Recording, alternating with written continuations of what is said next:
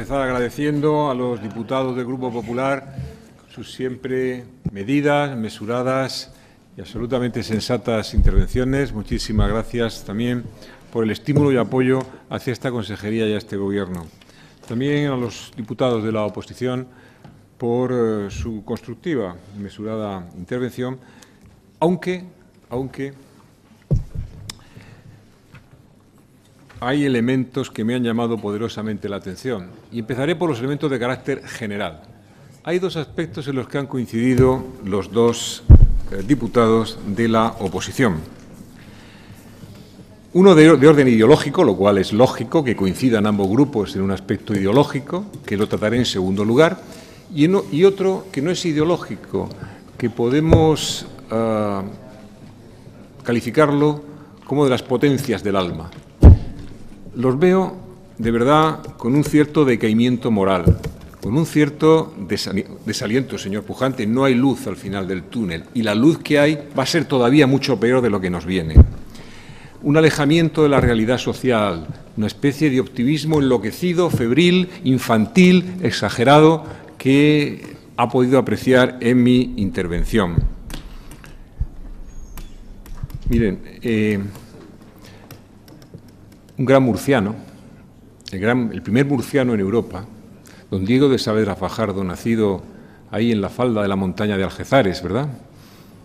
Escribió el libro más importante, probablemente, que debe leer un político, Las empresas políticas. Dicen que fue la base, que por cierto luego Maquiavel utilizó para escribir su famoso Príncipe, ¿no? Fue el primer murciano y el primer español en Europa, uno de los elementos más reconocidos de la segunda fase de la contrarreforma europea, fue embajador de España en multitud de países. En esas empresas políticas, quiero recordar que es en su capítulo 51, dice que rendirse ante la adversidad es mostrarse de su parte. Yo me niego a rendirme ante la adversidad. Me, me, niego a entusiasmarme, como suelen hacer muchas veces los españoles, por el desastre y la autoflagelación. Como decía Ortega y Gasset, los españoles que hemos, querido, hemos pasado de querer ser demasiado a demasiado no querer ser. Decía su discípulo Julián Marías que los españoles solemos preguntarnos con frecuencia qué va a pasar, cuando la pregunta que nos tendríamos que hacer es qué vamos a hacer. El inmovilismo, señorías, nunca ha sido rentable, pero en estos momentos es simplemente suicida. La inacción que conduce al desaliento tiene un coste muy superior al de la acción. Siempre, siempre en mi vida, tanto pública como también privada, he seguido un principio, y es que prefiero hacer y equivocarme a no hacer y equivocarme. Por ello, también, junto a esto, creo que los gobiernos no deben empeñarse en transmitir alborozo, sino en generar simplemente confianza. En generar confianza. Y desde luego, y ustedes, que esto lo van a entender muy bien, por lo que después hablaré, desde los principios ideológicos, ¿verdad? Un chiste que leí no hace mucho tiempo en un periódico de índole nacional en la que aparecía un individuo, yo creo que de la izquierda probablemente, en el que decía, todavía nos queda una utopía, la de un pasado mejor. Pues no, pues no hay pasado mejor, no hay pasado mejor. Hace ya, como decía Benedetti, hace ya mucho tiempo que no llueven sueños en esta tierra. Y hace falta que lluevan sueños para que florezcan realidades. Y desde luego me niego a seguir en ese tipo de permanente autolamento, de permanente sensación de decaimiento moral, de inacción y de melancolía, que es, como saben muy bien, la tristeza sin causa. Desde luego, la política se desarrolla frente a la realidad, no porque se desconozca la realidad, sino porque lo que intenta es transformarla y somos transformadores de la realidad social. Y desde luego si yo estoy en política es para eso, si no, no estaría. Y desde luego tampoco acepto que se diga, bueno, es una consejería de futuro, pero no tiene ninguna posibilidad. Es una consejería muy interesante, pero con lo que tiene no puede hacer nada. Pues miren, pues me niego a hacer eso. Y además voy a luchar contra eso como he venido haciendo desde el pasado. Y si esta región, con tan pocos recursos, probablemente de esta consejería, pero con un equipo humano absolutamente volcado y capaz de sacar de donde no lo hay, hemos conseguido la región de Murcia, la región de Murcia, todos los empresarios de la región de Murcia, los trabajadores de la región de Murcia, porque luego quiero hablar también de ciertos recursos, que es el aspecto ideológico, de viejos y superados conceptos que permanentemente quieren introducir en estos debates, esta región de Murcia, este año, 2013, de enero a agosto, ha exportado por valor de 6.400 millones de euros. Eso supone un 12% de incremento con respecto al año pasado. Pero es que el año 2012, en su globalidad, exportamos casi 9.000 millones de euros, un 62% más que el año pasado. En 2011, 5.470, un incremento del 9,53. En 2010, 4.994 millones, un incremento del 14,35 con respecto al año pasado. Les, les ahorro la suma de los incrementos de todos estos años, pero sepan que en este momento las exportaciones de la región de Murcia suponen el 30% del Producto Interior Bruto. Y nos hemos marcado, como les he dicho, como objetivo, yo creo que incluso prudente, en 2020 llegar al 40%, que, por cierto, es lo que exporta el país más avanzado desde el punto de vista económico eh, de Europa, que es Alemania. Si la región de Murcia alcanza los niveles de Alemania, creo que estaremos hablando de algo importante. Y, desde luego, eso es algo que esta, consejería tiene como objetivo. Me dicen creación de empresas. Pues era una consejería pequeña, probablemente con pocos recursos, pero con el impulso y el esfuerzo hemos conseguido que la región de Murcia lidere el crecimiento empresarial en este año 2012. En el año 2011, el incremento de empresas en la región de Murcia supuso un 15% con respecto al año anterior. En 2012, un 5,3%. Hemos duplicado el crecimiento empresarial en esos dos años con respecto a la media nacional. Y ciertamente que se, destruyen empresas, también se destruyen empresas, pero hemos conseguido invertir la tendencia. Se destruyen muchas menos de las que se crean, muchas menos de las que se crean. Y eso son puestos de trabajo, y eso es futuro, y eso es posibilidades para esta región. Y eso, en eso es lo que trabaja esta consejería. En eso es lo que trabajan todos los días, todos los días, al menos media jornada, Digo media jornada porque son 12 horas, media jornada son 12 horas, media jornada, la gente de esta consejería. Y por lo tanto, como les decía, me niego y no voy a aceptar ningún decaimiento ético ni moral. Pero claro, el segundo concepto que sobrevuela sobre todo lo que, lo que han dicho, incluso pues de una manera eh, mucho más, eh, ya no tácita, sino absolutamente palpable, es recurrir a viejos tópicos, yo creo ya superados por la sociedad, esa especie de dualidad de lucha entre lo público y lo privado, entre las empresas y los trabajadores, entre las pymes, entre las pequeñas y medianas empresas y las grandes empresas. Ese ensalzamiento de unas cosas y demonización de otras, intentando enfrentarlas, es algo que está ya superado ampliamente por la realidad de, esta, de este país. Los ciudadanos son ya modernos, son ciudadanos globales, que actúan localmente pero piensan globalmente, que de ninguna manera están sujetos a ese tipo de patrimonialización de determinados conceptos que ustedes quieren seguir empeñando. Desde luego, no sé de qué, desde qué pedestal ético o desde qué supremacía moral me plantean alguna disquisición sobre sus creencias en la justicia social y las que puede tener este Gobierno o este grupo parlamentario. No sé a qué día, de qué hora, ustedes creen más en la justicia social que cualquiera de nosotros. Es algo que no vamos a aceptar, porque parece que en este país estamos acostumbrados a hacer las cosas siempre contra alguien, incluso a veces hasta los elogios. Y eso, desde luego, es algo que tenemos que superar porque creo que los ciudadanos han superado. Y no lo olviden, las, ideas y las ideologías tienen consecuencias, pero las ideas y las ideologías equivocadas tienen muchas más consecuencias. Con esto no quiero decir tampoco que vamos a ser o vamos a estar fuera de la realidad. Yo creo que la metáfora que puede ilustrar muy bien la situación que vivimos en nuestro país es la de las primeras lluvias que llegan hacia un campo, unos campos que han tenido una gran sequía. Un campo en el que ha habido una gran sequía y que llegan las primeras lluvias. El agua llega efectivamente, pero no cala todavía lo suficiente para que empiece a geminar las plantas. Y ciertamente los ciudadanos tienen razón, tienen toda la razón, y en cierta manera es lo que ustedes transmiten al quejarse de ese optimismo oficial, porque todavía no pueden recoger los frutos en forma de créditos, en forma de empleo, en forma de inversiones. Y como les decía antes, Los gobiernos no podemos ni debemos empeñarnos en transmitir alborozo, sino solamente en transmitir confianza. Creo que nadie, nadie está legitimado en este país mientras uno solo de nuestros compatriotas que de manera honesta, decente, quiera trabajar y no pueda hacerlo, no pueda hacerlo, nadie está en este momento legitimado para transmitir optimismo ni ningún tipo de eh, autocomplacencia ni de felicidad. Hasta ese momento ninguno estaremos legitimados a hacerlo. Ahora bien, lo que es el impulso, el esfuerzo y las ganas de salir adelante, eso es lo que nadie nos puede quitar. Como decía el ingenioso Hidalgo en uno de sus fantásticos, de sus fantásticos capítulos, ¿no? Decía algo así como, querido Sancho, podrán los dioses quitarme la vida, pero la esperanza y el ánimo jamás. Pasando ya a lo más concreto, a lo más concreto, algunos de los aspectos que han tratado en sus intervenciones.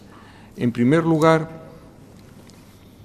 pues la puesta en duda de que la internacionalización sea algo capaz por sí mismo de generar crecimiento. El hecho de que la internacionalización es algo circunscrito solamente a las grandes empresas, a las grandes corporaciones. El tejido empresarial de la región de Murcia está compuesto en un 99% por pequeñas y medianas empresas. Esas pequeñas y medianas empresas han crecido espectacularmente en su actividad internacional y de exportación. Son 4.200 empresas las que exportan regularmente en la región de Murcia.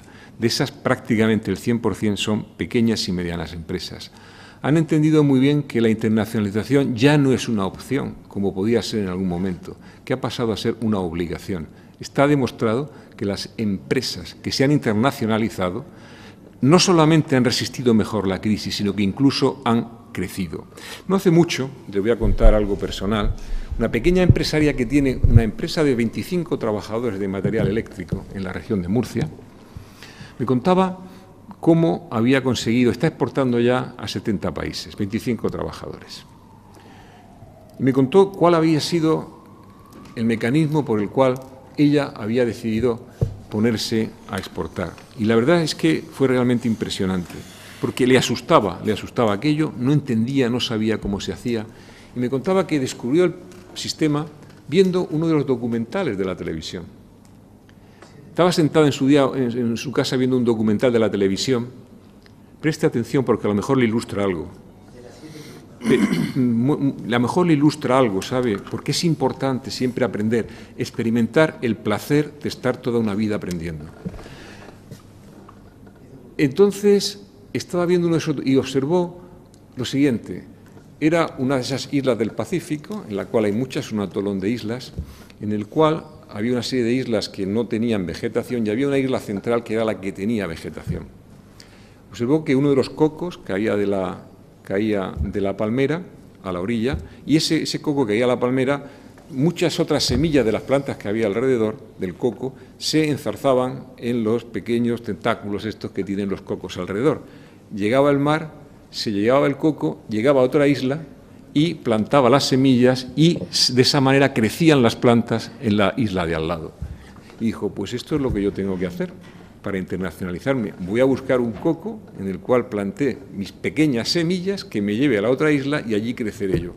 Y de esa manera fue como se internacionalizó esta pequeña empresaria de la región de Murcia. No reduzcamos el valor de la internacionalización ni los mecanismos que hacen los empresarios de la región de Murcia. Han criticado, han comentado los logros del plan de ciencia, los resultados de investigación, pues yo tengo que decirles que estoy enormemente orgulloso y ciertamente es algo que se puede imaginar que llevo muy dentro de los investigadores de la región de Murcia. El esfuerzo de los grupos de investigación de la región de Murcia es algo que no debemos poner tampoco en duda. Los investigadores de la región de Murcia, según los datos oficiales, han aumentado sus publicaciones en las revistas de impacto científico en estos últimos años. En el año 2011 publicaron 1.964 trabajos, en 2012 han publicado 2.278. El índice, de impacto, el factor de impacto de las publicaciones es las veces que te citan en otros trabajos, tu trabajo las veces que te citan en otro. El promedio de factor impacto de las publicaciones de la región de Murcia ascendió a 2,8 tras varios años consecutivos, manteniéndose en 2,6. En 2012, los investigadores de la región publicaron el 10,6% de sus contribuciones en las tres mejores revistas de su especialidad. El número de grupos de investigación en este momento financiados en el 2013 ha sido de 296, que agrupa a 2.245 investigadores. Se han mantenido 85 becarios de investigación y 51 investigadores en programas de movilidad. Creo que son datos que arrojan importantes eh, claridades sobre la investigación y el plan de investigación de la región de Murcia. También se me ha pedido, y yo lo asumo de esa manera, que rinda cuenta sobre los logros de la ley de emprendedores que se aprobó en esta, en esta Asamblea Regional y que ciertamente ustedes tienen pleno derecho a exigirme a mí que yo rinda cuentas ante ustedes sobre los logros de la ley de emprendedores, que recuerden que se aprobó el pasado verano, es decir, que si descontamos el verano llevamos cuatro meses de ley de emprendedores. Bien, pues les diré en primer lugar que se han puesto a disposición de las pequeñas y medianas empresas para su financiación 25 millones de euros, que ya se eximen hasta 15 tasas para el inicio de la actividad empresarial de las empresas. Todo esto en virtud de la ley de apoyo a los emprendedores que ustedes aprobaron aquí, que ya se exime del IRPF en el tramo autonómico para inversión en las empresas, que se ha puesto a disposición de las empresas un millón de euros para financiación de los viveros de empresas, que se han convocado subvenciones para innovación tecnológica a través del programa Inno Empresa y del programa Chequetic por un importe superior a 1,2 millones de euros, que hemos avanzado en la simplificación administrativa para la creación de empresas mediante la implantación en municipios de los PAIS virtuales. Hay 14 municipios, en séptimo lugar, que ya han suscrito el convenio municipio emprendedor, lo que ha supuesto una reducción fiscal en el ámbito municipal en torno al 50%. Y como ya les he destacado anteriormente, hay un notable incremento en la creación de empresas en la región de Murcia. Me indicaban también que les explicara cómo eh, bueno, pues, eh, ha habido reducción de presupuestos en materia de energías limpias y cuál ha sido la incardinación de la supresión de la Fundación Agencia Regional de Gestión de la Energía. Como saben, la Agencia Regional de Gestión de la Energía, junto al Parque Científico del que les hablaré después, son fundaciones del sector público que, eh, en virtud de la política general de reducción de entes, que por cierto, pues ustedes nos exigen permanentemente, se ha llevado a cabo por parte del Gobierno regional y, ojo, que no se puede sorber y soplar a la misma vez. No se puede exigir, por un lado, eh, este tipo de reducciones y, por otro lado, exigir responsabilidades por las mismas. ¿no? En cualquier caso, en relación con con Argen, decirles que toda la parte de presupuestos europeos, de proyectos europeos, está siendo llevado adelante por el Instituto de Fomento y el resto de funciones por la Dirección General de Industria, Energía y Minas, cuyos recursos humanos pueden asumir este cometido, sobre todo gracias a la eficacia, a la entrega y al compromiso de todos los trabajadores y funcionarios que existen en uno y otro organismo.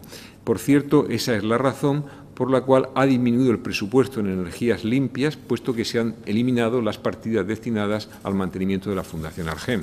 Igual que la partida destinada a la Fundación eh, Parque Científico ha sido eliminada tras la eh, anulación de esta fundación y su presupuesto, por lo tanto, se integra en el del Instituto de Fomento.